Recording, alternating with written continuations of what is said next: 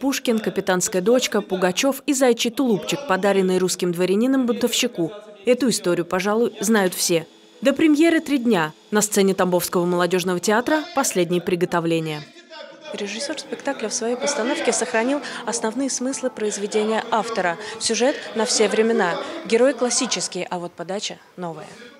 «Капитанская дочка» в постановке Никиты Рака – современное прочтение непревзойденной классики. Это режиссерское ощущение того времени.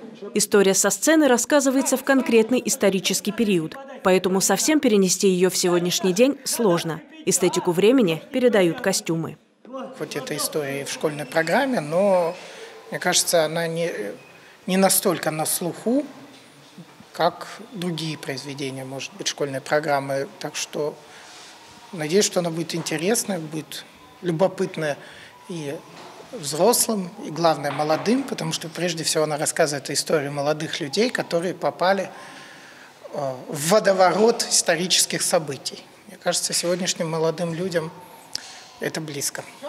На сцене артисты, которые как никогда подходят на свои роли. Особое внимание, конечно, главным героям. Екатерине Качановой выпала честь сыграть капитанскую дочку. Актриса признается, что это та самая роль, которая помогла познать себя. Мы с Машей довольно похожи. Мы обе добрые, очень чувствительные, стараемся понимать каждого, обе стараемся избежать конфликтных ситуаций. Поэтому я просто узнала себя получше, наверное. В этом открылась моя Маша. Сильные эмоции, глубокие переживания и восхищение, водоворот чувств и выбор, который может определить твою судьбу.